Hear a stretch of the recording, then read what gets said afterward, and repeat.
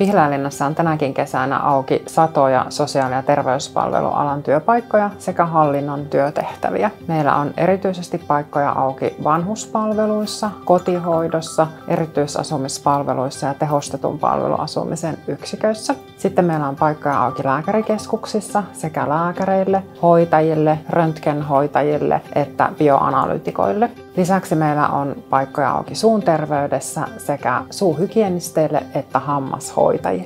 Pihläälinna on erittäin mukava työyhteisö. Meillä on matala organisaatio ja kesätyöntekijät otetaan lämpimästi vastaan. Kaikki Pihläälinnan kesätyöpaikat on nähtävillä Pihläälinnan verkkosivuilla.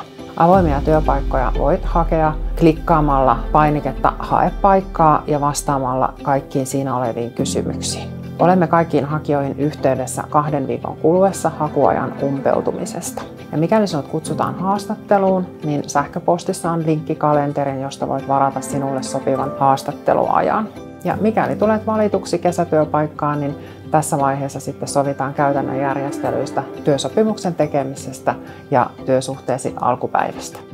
Ensimmäisenä työpäivänä sinut tutustutetaan työyhteisöösi, työkavereihin ja työvälineisiin. Olemme laatineet kesätyöntekijöitä varten oman perehdytysohjelman, jonka mukaisesti edetään. Kaikille kesätyöntekijöille nimetään myös oma henkilökohtainen perehdyttäjä, jolta voi kysyä neuvoa Pihlailinnassa tarjoamme kaikille kesätyöntekijöille hyvän laajan työterveyshuollon, vapaa-ajan tapaturmavakuutuksen sekä kahvia, teetä, virvokkeita kuumina kesäpäivinä. Erityisasumispalvelumme tarjoavat myös ilmaiseksi Foreverin jumppatunnit.